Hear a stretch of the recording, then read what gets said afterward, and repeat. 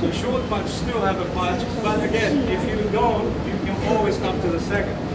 Right? Idea is not necessary to knock him down, but here is first punch, so he will not come to the second punch. That's the idea. You just get the attention. Same thing, see, we're doing this, but really what I would do in the real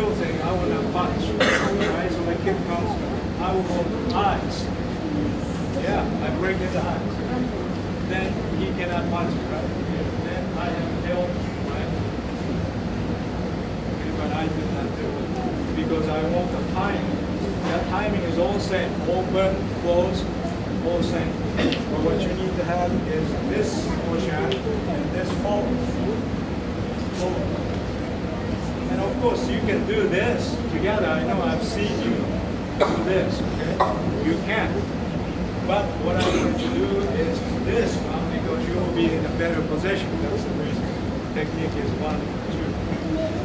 Okay. And there are different modifications, of course. You don't have to rotate. You can just do this punch and. You can. But again, the reason is while he, I'm in front of him, he has more power and advantage. He can do more. But he can do less when I'm on the side or even the back.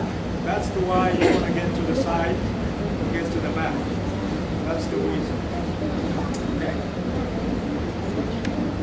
That's the reason behind it.